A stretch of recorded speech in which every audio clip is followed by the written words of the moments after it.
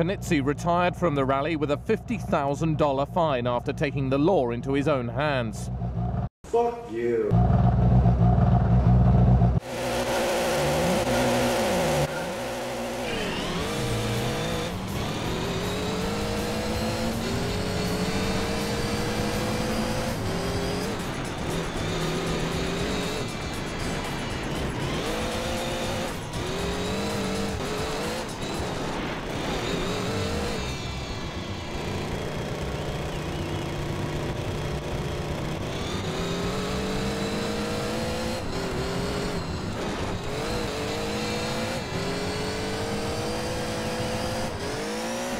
I'ma make you pop like that.